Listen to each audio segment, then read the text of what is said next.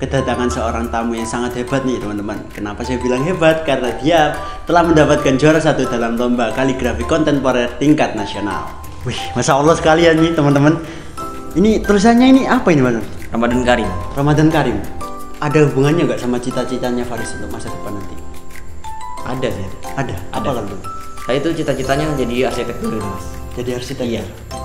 Berarti udah berapa kali nih Faris ikut lomba? Sekitar lima kali. sekitar lima kali dan yang awalnya itu sebelumnya gak kena gak kena gak kena baru Nah. kena kali ini Iya. uh pantang menyerah sekali Faris ini ya Terus berjuang dan berdoa kepada Allah Subhanahu Wa Taala dan jangan sekali-kali melupakan kedua orang tua dan ibu guru.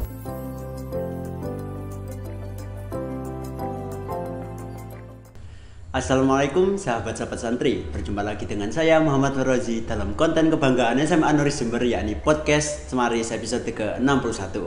Nah pada episode kali ini kita telah kedatangan seorang tamu yang sangat hebat nih teman-teman. Kenapa saya bilang hebat? Karena dia telah mendapatkan juara satu dalam lomba kaligrafi kontemporer tingkat nasional. Nah dia juga merupakan alumni SMP Nuris Jember nih teman-teman.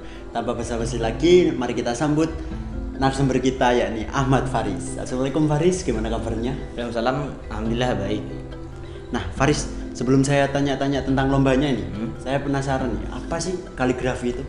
Kaligrafi itu adalah seni tulisan atau gambaran dengan ditulis dengan digambar dengan bahasa Arab dengan indah dengan tujuan untuk memuliakan kalam Allah.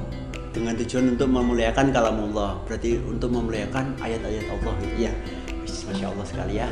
Nah jadi gini Faris, gimana perasaannya kamu ketika pertama kali denger nih kalau kamu ini dapat juara satu dalam bidang ini? Hmm, Alhamdulillah senang berkat usaha dan doa dan teman-teman du- dukungan teman-teman saya dan ridho kedua orang tua alhamdulillah bisa juara. dengan ridho orang tua jadi yang paling penting itu doa sebenarnya ya. Faris sejak kapan nih Faris mulai menekuni bidang kaligrafi Sejak awal kelas 9 SMP semenjak ada anak PAM yang mengajar di asrama saya. Terus ada seorang murid nih MA, MA Nuris yang ahli juga dalam bidang kontemporer, kaligrafi kontemporer. Nah itu saya kepo, saya pengen belajar jadi gitu. Gitu mas. oh berarti secara gak langsung nih anak PAM ini jadi idolanya Faris ya? Iya.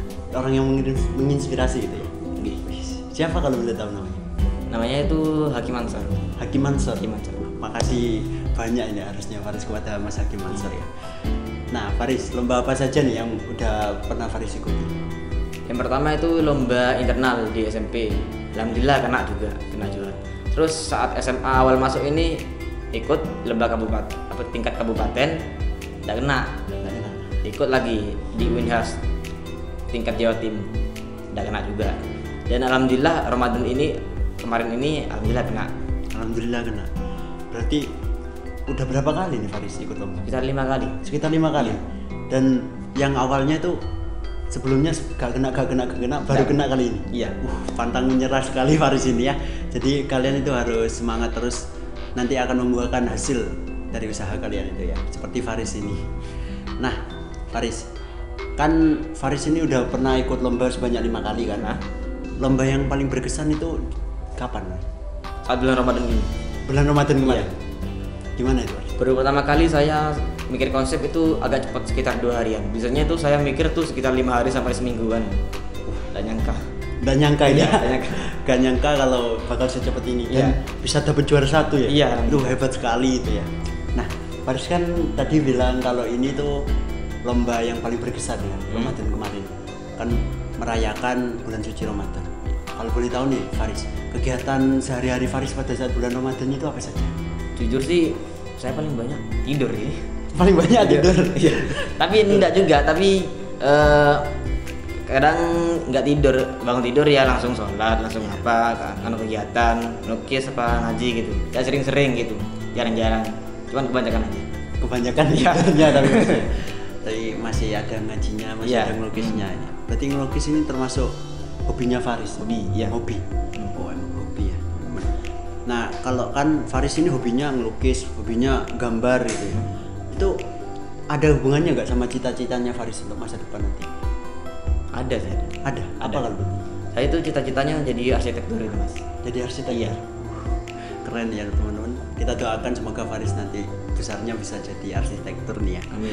Nah, Faris kan Faris sudah lomba lima kali terusan kalah menang udah kayak gitu kan ya. Iya. Itu motivasi ada gak motivasi yang membuat Faris itu tetap semangat itu?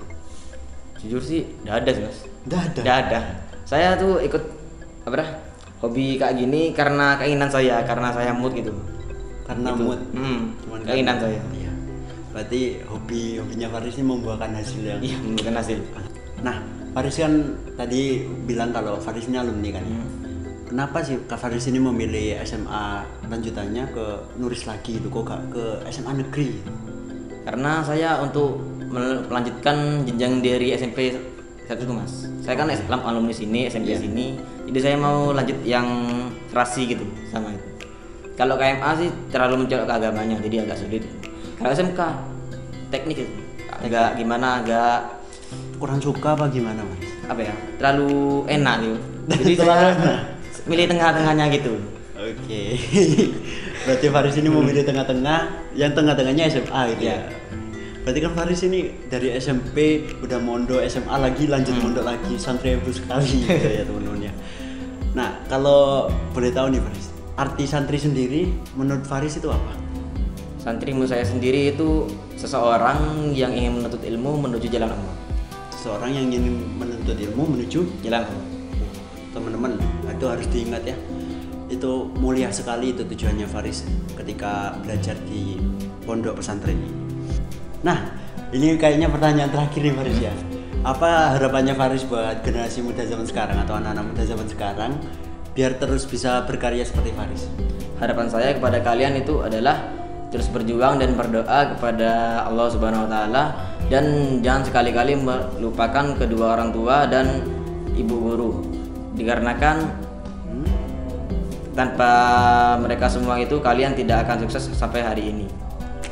jadi itu harapannya Faris buat kalian semua ya jangan mudah pantah eh jangan mudah menyerah terusan jangan lupa jasa-jasa dari orang tua dan guru-guru kita karena ya seperti Faris yang bilang tadi karena mereka yang membimbing kita sampai kita menjadi seperti ini nah Faris tadi kan kita belum melihatkan hasilnya hasil lombanya Faris ini kaligrafinya Faris boleh ditunjukkan? Wih, masya Allah sekalian nih teman-teman. Ini tulisannya ini apa ini mas? Ramadan Karim. Ramadan Karim. Kalau boleh tahu artinya apa? Artinya itu Ramadan yang bulan Ramadan yang penuh berkah. Bulan Ramadan yang penuh berkah gitu ya. Iya. Wih, masya Allah, ini indah sekali ya. Em, gabungan lafadznya dengan taman-taman nih. Apa maksud dari ada makna gak dari taman-tamannya ini mas? Ada sih. Mas. Ada apa? Ramadan itu kan artinya kan bulan yang suci yang indah. Iya. Sama kayak ini kayak teman yang indah yang apa? Wah, taman. Jadi Faris ini menggambarkan keindahan dari bulan Ramadan dengan menuangkan taman dalam lukisannya. Masya Allah keren sekali ya ini teman-teman karyanya. Baik, sahabat-sahabat santri, mungkin itu saja yang bisa saya obrolkan dengan narasumber kita kali ini. Semoga apa yang baru saja kita obrolkan bisa bermanfaat bagi kita semua. Dan untuk Faris sendiri, semangat selalu ya Faris. Iya. Semoga bisa terus berkarya untuk ke depannya. Mungkin itu saja yang bisa saya sampaikan. Jangan lupa like, comment, share, dan subscribe. Dan juga nyalakan notifikasinya agar kalian bisa mendapatkan info menarik tentang santri-santri hebat lainnya. Sekian dari saya. Wassalamualaikum warahmatullahi wabarakatuh.